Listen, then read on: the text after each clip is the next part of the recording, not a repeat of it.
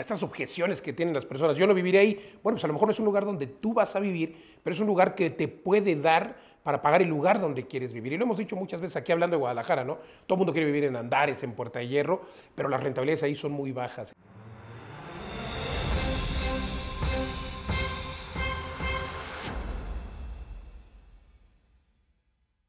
Eh, acerca de los miedos que tienen las personas, porque también tenemos la academia en vivedelasrentas.com barra academia, pero hay varios miedos. Primero, el miedo a empezar, quisiera que empezáramos con ese miedo a, comenzar a dar el primer paso, que, va con los miedos que nos han puesto, u objeciones que nos han puesto algunos clientes, ¿no? Ahora estamos aquí en Guadalajara y tenemos edificios muy exitosos, tenemos aquí tres edificios, cuatro edificios funcionando en Guadalajara, algunos con habitaciones de 8 metros, 10 metros cuadrados, pero que tienen todo lo que necesitas, ¿no? Eh, es parte de, lo, de la filosofía de las rentas, pero tenemos personas que dicen, no, es que yo, yo, me da miedo invertir en eso porque yo no viviría ahí, ¿no? Por ejemplo. Sí, exacto. Hay una serie de miedos. Al final te das cuenta cuanto más aprendemos en este tema de inversiones inmobiliarias, que el principal límite es nuestra propia mente, esos miedos que están hechos evolutivamente para, para, protegernos, pero que realmente no nos dejan tomar acción. Entonces, por ejemplo, con el primer miedo es con el tema del endeudamiento. ¿no? Todos nosotros eh, pues los que tenemos hipotecas nos han enseñado que hay que pagar la hipoteca pronto, ¿no? Y lo mejor es vivir en una casa que ya esté pagada, ¿no? Entonces sienten la hipoteca como, como algo que, les llega el agua al cuello y cuanto antes la pagues mejor. Entonces ahí lo que, lo que funciona en contra de la inversión es que no te va a dejar ese miedo invertir en otras propiedades con hipotecas que se, que se paguen solas. Eso para empezar. Y mucho menos sacar una hipoteca de liquidez sobre tu propiedad ya pagada para que seguir invirtiendo, ¿no? por ejemplo. Entonces ese es un primer paso que mucha gente no da. El otro paso es buscar, eh, con todo el respeto Luis, por ejemplo estamos en este departamento fantástico en Guadalajara, pero que muchas veces nos vamos con esta imagen de, una inversión que parece segura, un lugar donde viviríamos nosotros. ¿no? Y en estos lugares, eh, si no lo piensas bien o no utilizas el modelo de rentas adecuado, la rentabilidad es muy baja, no, no se va a pagar solo con hipoteca. Entonces hay que irse a sitios un poquito más atrevidos, donde la rentabilidad es mucho más alta porque se conjugan dos factores. Las propiedades son más baratas por metro cuadrado que en otras zonas de la ciudad, pero las rentas todavía son suficientemente altas. Entonces el factor renta-valor hace que tenga rentabilidades del 12, 15, 18%, con lo cual se paga una hipoteca sola con creces. Y ahí respondes esta, a estas objeciones que tienen las personas. Yo no viviré ahí.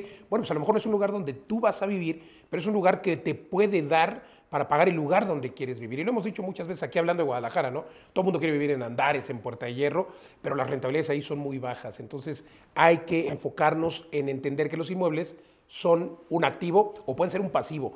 Y totalmente de acuerdo, fíjate que el otro día me, me preguntaba un muy buen amigo, eh, que está irónicamente también dentro del mundo inmobiliario, pero en el sector de las inmobiliarias regulares, vamos, los que se dedican a, intermediar propiedades. El tema es que me preguntaba, oye, tengo una hipoteca hace 20 años, me quedan 3 años y debo un millón y medio. Mi esposa me está pidiendo que lo pague, urge que lo pague. Dice, pero pues yo no quiero pagar porque digo, ya más falta eh, ese periodo de tiempo y me falta millón y medio. Pues, eh, digo, ese millón y medio deberías invertirlo en otro lado y seguir pagando tu mensualidad de 20 mil pesos, porque al final lo que pagas en este triángulo, hablando de triángulos, pues en el triángulo de los intereses, pues es el capital, ¿no? Entonces, si ya llevas 3, 4, 5 años pagando un crédito, es absurdo que le metas dinero, ¿no? Sí, al final vas ya liquidando el, capital, sobre todo si es una propiedad también de inversión que se está pagando sola, pues yo prefiero dejarla ahí si hay mucha gente que tiene esos créditos todavía al 9%, por ejemplo, 9,5%, eh, y preguntarte qué vas a hacer con ese millón y medio, le puedes sacar un 15, un 18 en otro tipo de, propiedades, entonces deja ese trabajando al 9%, que es un dinero barato relativamente.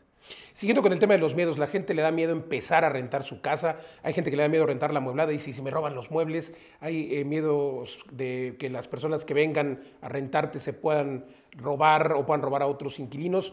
¿Cómo quitarse esos miedos? Si esto funciona, yo creo que eh, yo no conozco tanto todos estos temas psicológicos, pero la mente humana se queda con esos escándalos. ¿no? y por ejemplo el mundo mediático, incluso el periodismo, pues hace dinero con, esos titulares, ¿no? Entonces solo escuchamos las, las historias, eh, esos de terror, ¿no? A alguien que le robaron todo esto, que le pasó un mal inquilino. Pero si tienes en cuenta las, las estadísticas, ¿no? Esos casos son, la probabilidad es inferior a un 1%.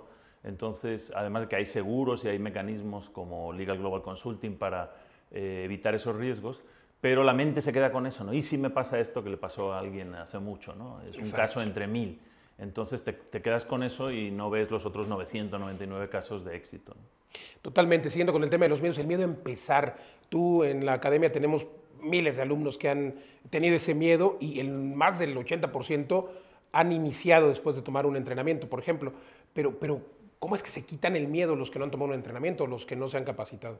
Sí, ahí pues ha habido alumnos que nos lo han contado muy bien al final del entrenamiento, porque nosotros les damos los cómo, ¿no? Nosotros, los tres socios Video de las Rentas, habíamos estado en otros entrenamientos donde te motivan mucho, te ponen en marcha, pero no te dicen cómo.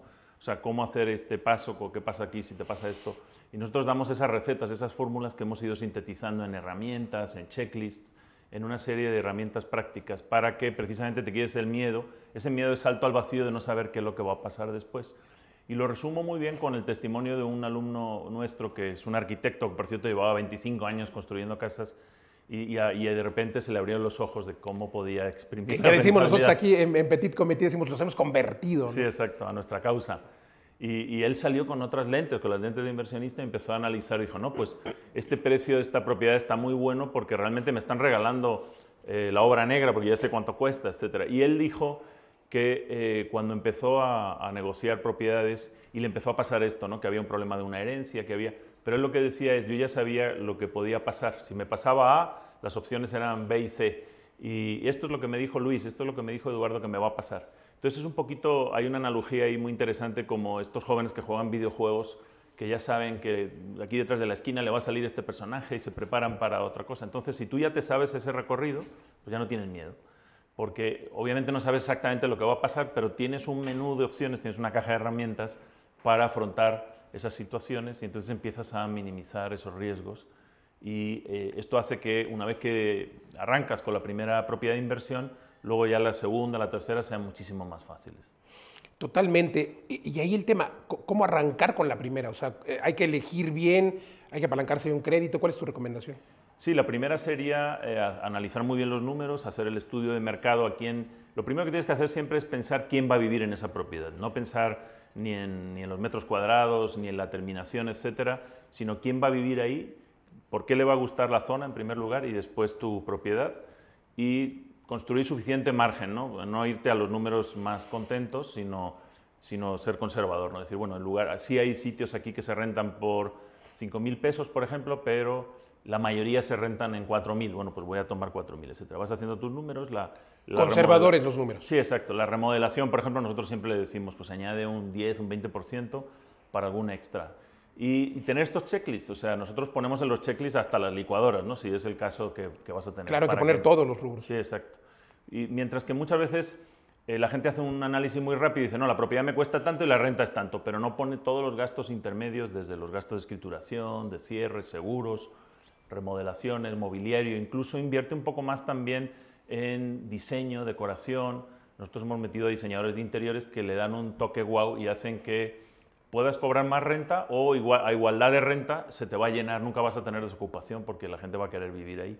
Y no es una cuestión de dinero, a veces simplemente de sí pagarle a un diseñador que tiene mejores ojos que tú para que elija estas cosas que son más atractivas.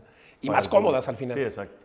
Oye, qué interesante. O sea, entonces el secreto está, por supuesto, en hacer números, para resumirlo, hacer números, por supuesto, tener un poco de visión y, si no, apalancarte a los expertos como el diseñador. Sí, exacto. Y lo mismo con el broker hipotecario, con ese equipo de poder. Y nosotros en los entrenamientos te explicamos que quién es parte de ese equipo, es importante que, lo elijas muy bien, pero también que tú tengas las herramientas para elegirlo, para hacerle el checklist, para hacer las preguntas adecuadas. Y una vez que te formas y tienes confianza en el modelo, pues ya eh, se te bajan esos miedos y el riesgo es, es mucho más bajo y, y adquieres mucha más confianza.